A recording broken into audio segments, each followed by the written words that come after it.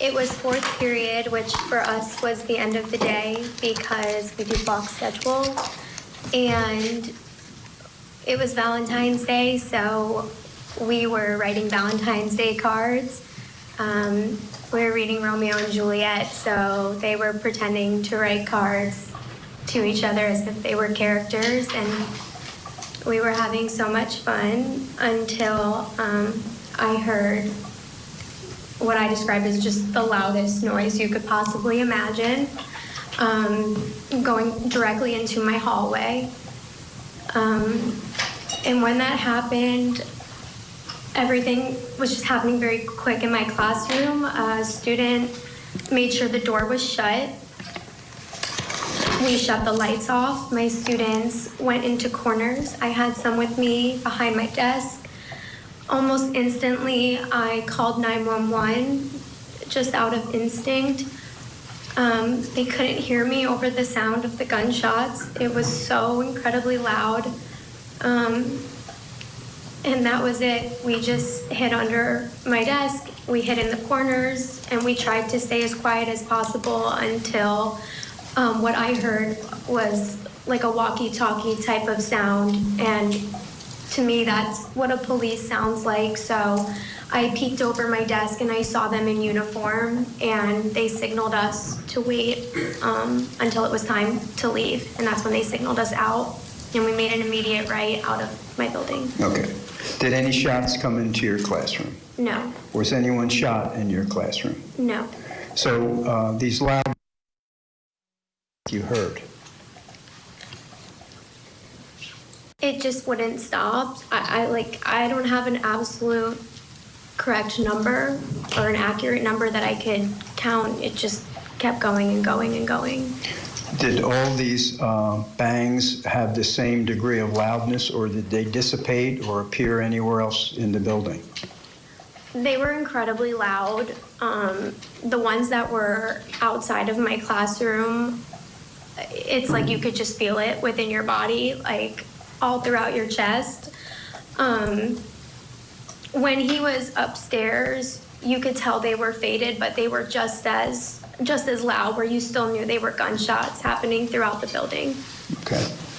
And how many? How long did you wait before the you heard the walkie-talkie and the police said, "Hold on, we'll get you"?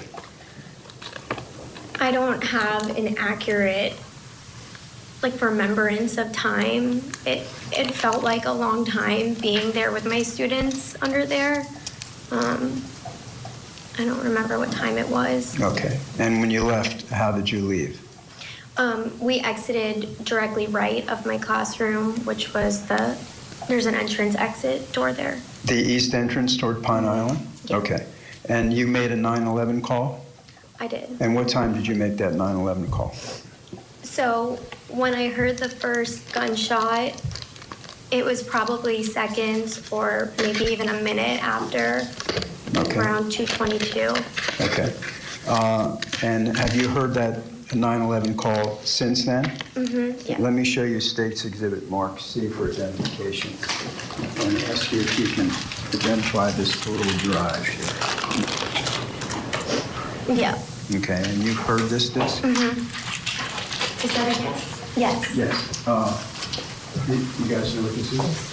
The 911 call? Yes, that's Yeah, Any objection? Okay. Uh, Would offer State's Exhibit C, please, Your Honor? Okay, without objection, State's Exhibit C for identification will be received as State's Exhibit 4. And I'd like to uh, play it. Okay?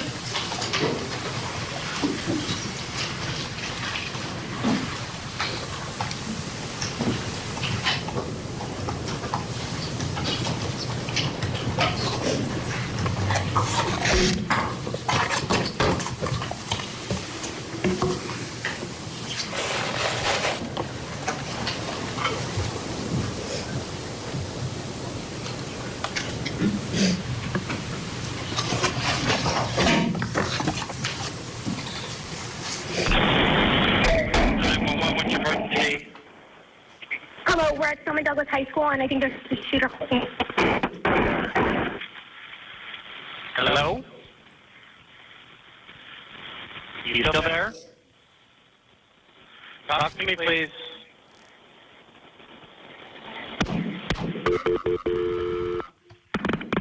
And those were the bangs that you heard in the beginning of the call, right? Yes. Okay.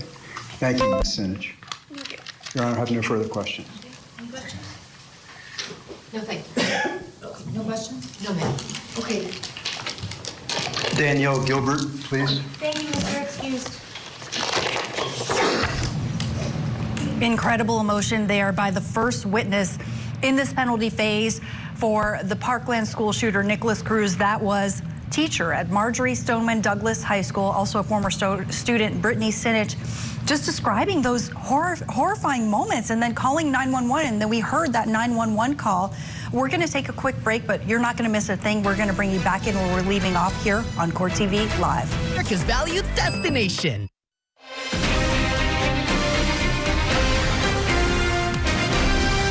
Welcome back to Court TV Live. We continue our coverage of the penalty phase for convicted Parkland school shooter Nikolas Cruz. Now, we just heard from the first witness on the stand, a teacher who called 911 when that shooting happened. On the stand next is a student, Danielle Gilbert. She was a junior at Marjorie Stoneman Douglas High School on the day of that deadly massacre. So let's go back into court. You're not missing a thing.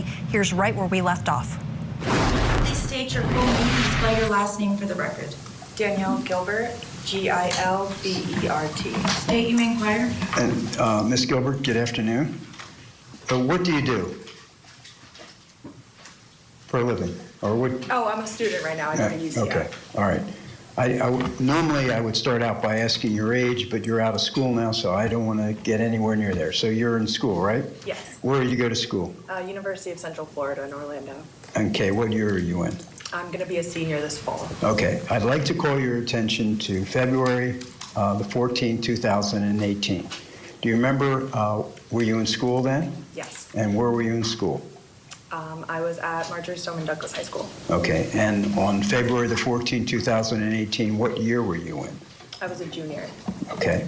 I'd like to call your attention to that day, that Wednesday. Do you remember your fourth period? Yes. Okay. What time does school start then, on that day? It- Uh, 7:40 a.m. Okay. And the last class ends at what time? 2:40 Okay.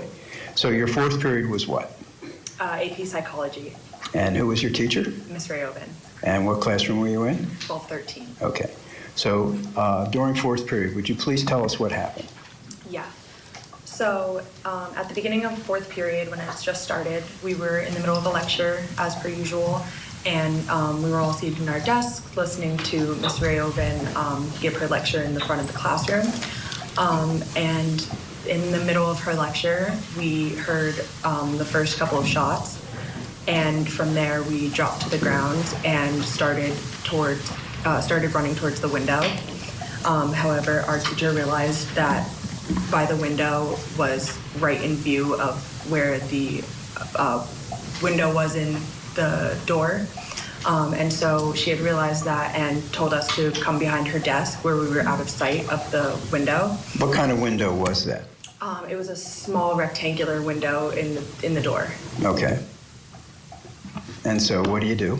And so once she uh, tells us to go ahead over to her side of the desk where we're out of sight, we immediately turn around and um, all 31, 32 of us go over to the, that side of the classroom. Okay. And then, then what time does class start, the fourth period? 90-minute class? It's, yeah, it's an hour and a half class. Hour and a half, so like 110? Sounds about right. I don't remember exactly. Okay, okay. But you know it ends at 2:40? Yes. Okay. So tell us what happens after you go uh, near Miss uh, Rioven's desk. So uh, then we go over to the other side of the classroom by her desk.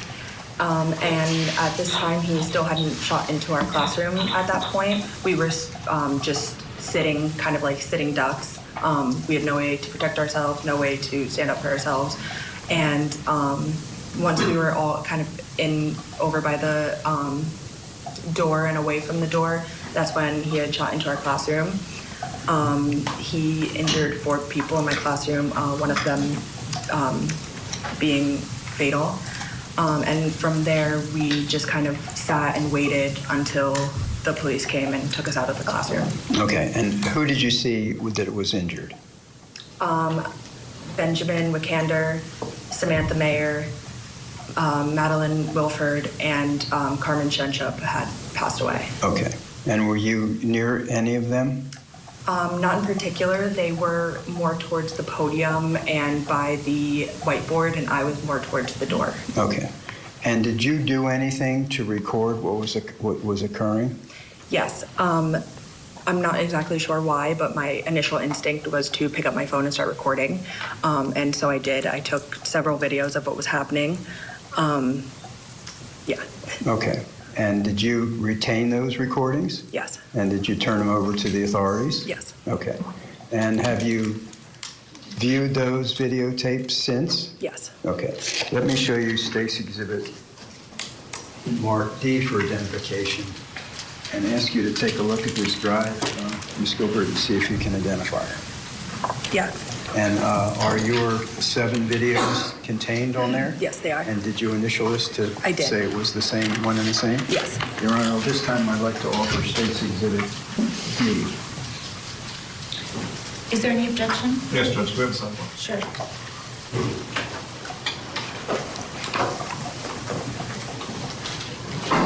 Okay, so as they're in a sidebar, we're going to take a quick break here on Court TV. But what we're following, again, just to recap for our viewers, this is the sentencing phase, the penalty phase for convicted Parkland school shooter Nikolas Cruz. He already pleaded guilty to killing 17, but now the jury here is determining whether he should get life in prison or death. We're going to continue our coverage right here on Court TV.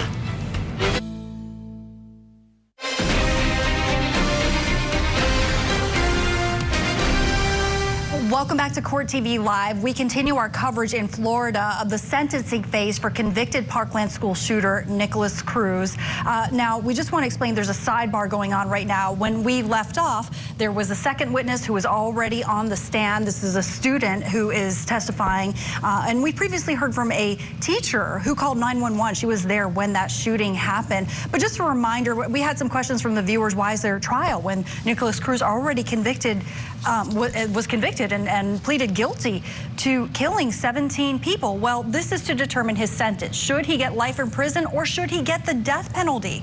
So as that sidebar is underway, I want to bring in our guest analyst for this hour, criminal defense attorney Greg Isaacs and former prosecutor, criminal defense attorney, host of the Diva Court podcast, Marcia Minot, joining us. Um, so just to kind of explain for our viewers, there have been many sidebars and, and there probably will be many sidebars as this penalty phase gets underway. Uh, just you know, big picture. Why is it important to have these discussions about perhaps what evidence is admissible and what evidence is not admissible? Marcia. Well, you still have a duty as defense counsel to make sure that the evidence and the rules of evidence are complied with no matter what section of the trial you're in, if it's the penalty phase or the guilt phase.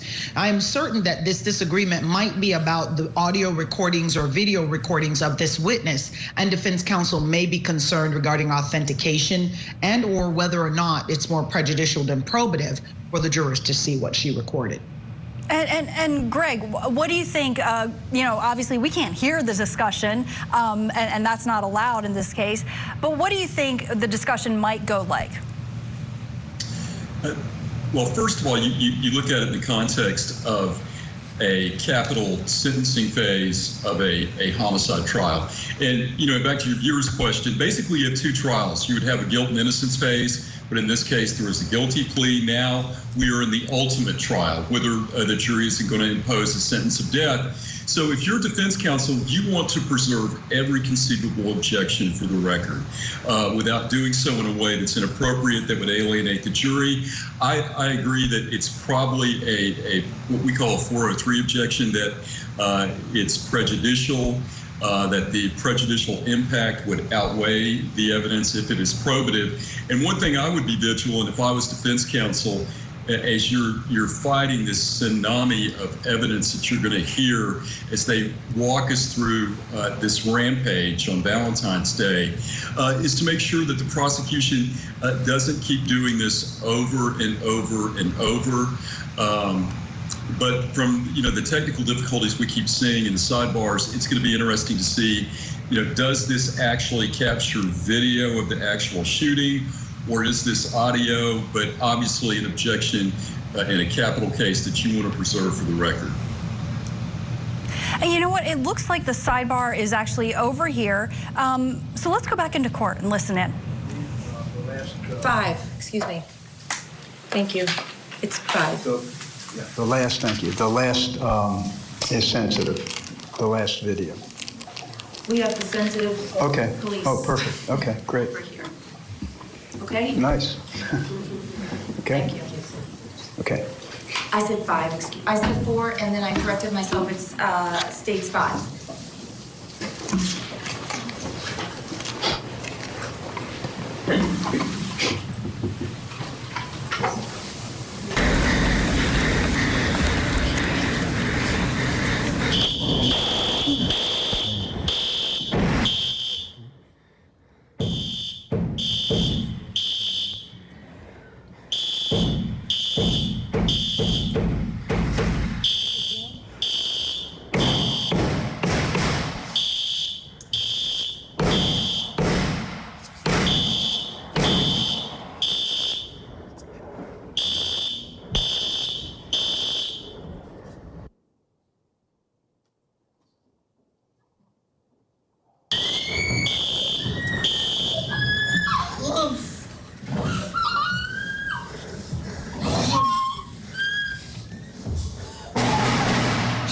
Can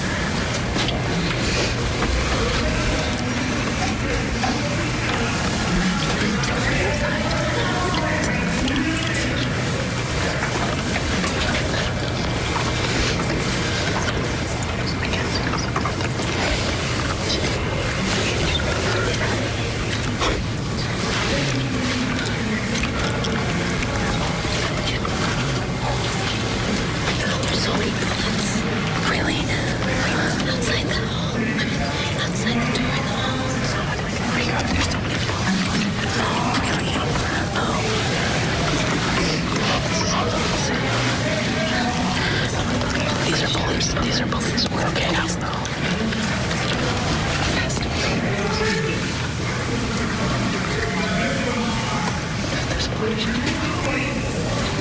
Is he gonna get us out? Oh yeah, like, shh, shh, shh.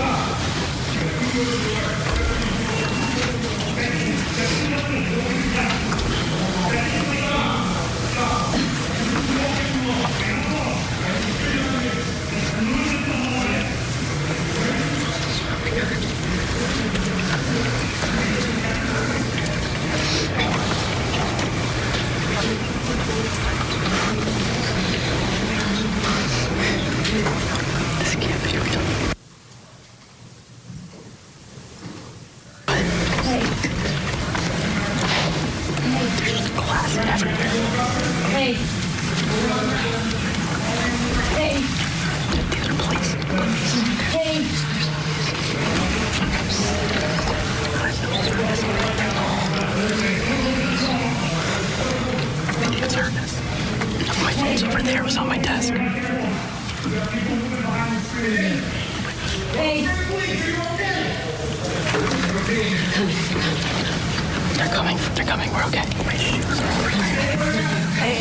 It's really just difficult even to listen to that, let alone the, the jury viewing it, and let alone having to live through that.